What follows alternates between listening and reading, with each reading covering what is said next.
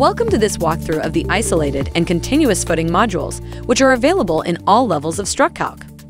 This walkthrough will primarily focus on the isolated footing as a complete tutorial and will then show you the differences in the continuous footing. These modules follow the standard design process with properties on the left, the design window in the center, and design information on the bottom. Output will appear on the right-hand side of the screen, along with adequacy information on the bottom.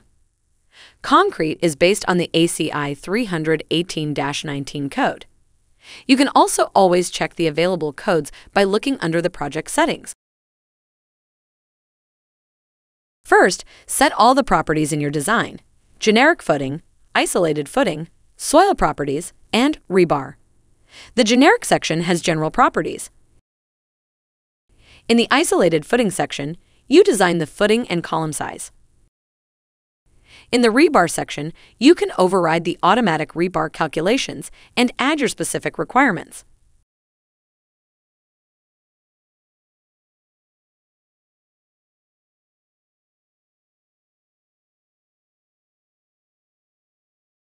The calculators are all easy ways to calculate and add loads and are covered in their own video.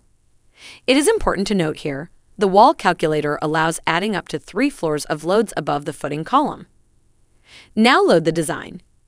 StruCalc supports point loads, axial loads, moments, and linked loads. These loads can be applied in either the X, Y, or Z directions. Linked loads are covered in their own video. Loads can be entered in three ways.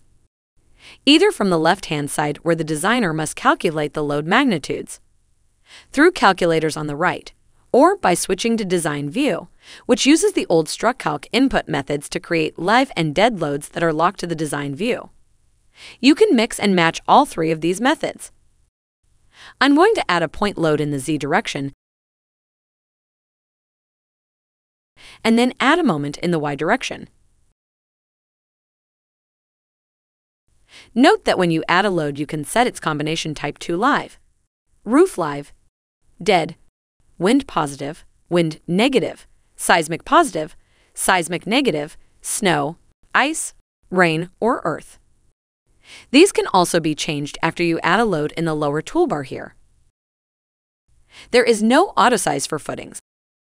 After calculating, I use the minimum design requirements on the Adequacy tab to determine if and by how much I need to increase the size of my footing. Next, I will open the print preview to view my output and customize it for future printouts as part of my project. I can select diagrams and different views here. These will be saved for later and automatically used in the print preview for the print project. Now we will open the continuous footing. Note that the general properties are the same. The difference is this is a footing with a stem wall on top of it. So in the continuous footing section, you are designing the footing size and the stem wall size. When you add loads to the stem wall, they are uniform against the entire length of the footing, and the footing can be poured to any length that is desired.